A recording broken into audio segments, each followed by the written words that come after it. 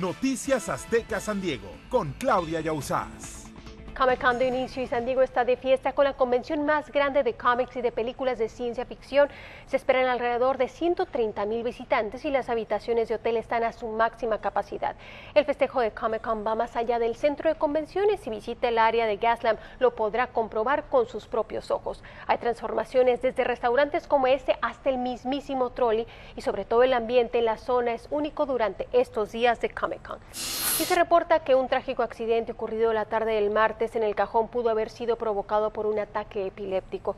Todo parece indicar que fue lo que le sucedió a esta conductora cuya hija adolescente trató de frenar, pero le fue imposible. Lamentablemente el conductor de este vehículo blanco perdió la vida y fue identificado como Héctor Nambo de 60 años, originario de Tijuana, con residencia en San Diego. Un total de seis autos estuvieron involucrados en el accidente. Una persona más fue hospitalizada. agentes de la patrulla fronteriza en el retén de San Clemente incautaron metanfetamina líquida encontrada en tres garrafones de supuesta agua a bordo de una camioneta conducida por un mexicano. La droga está evaluada en más de 600 mil dólares.